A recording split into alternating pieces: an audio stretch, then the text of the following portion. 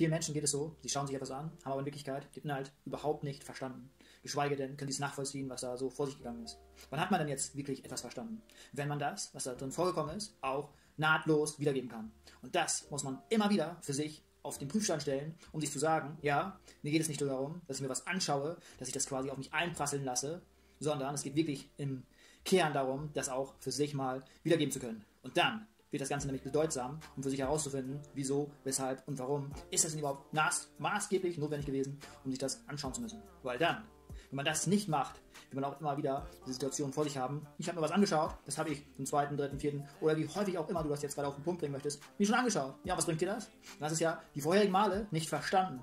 Und deswegen guckst du es wieder an. Nicht aus dem Grunde, weil du dich wieder berieseln lässt, sondern weil du deinen schönen Unterhaltungsfaktor da einspielen lassen hast, um dir zu sagen, ja, ich habe es mir angeguckt, weil der Film oder das, was jetzt gerade gewesen ist, war gerade gut. Okay, interessante Vorgehensweise. Super. Da muss man sich einfach nur die Frage stellen, wieso macht man etwas wiederkehrend, obwohl es nicht wiederkehrende Ergebnisse bringt. Und das muss man sich vor Augen führen. Und dann kann man damit auch weitermachen und damit hantieren. Und so sollte man sich das auch mal für sich auseinanderklammern büstern. Und wenn dir das gefallen hat, was du hier in diesem Video mit auf den Weg bekommen hast, ja, mach das doch jetzt mal. Teile es mit anderen Menschen, die das hören, sehen und wissen müssen. Und in diesem Atemzug, schau dir in den augenblicklichen Momenten, die du jetzt Freizeit hast, auch meinen YouTube-Kanal an. Da findest du nicht noch weitere Videos, die du unbedingt jetzt mal anschauen müsstest. In diesem Sinne, bis zum nächsten Mal.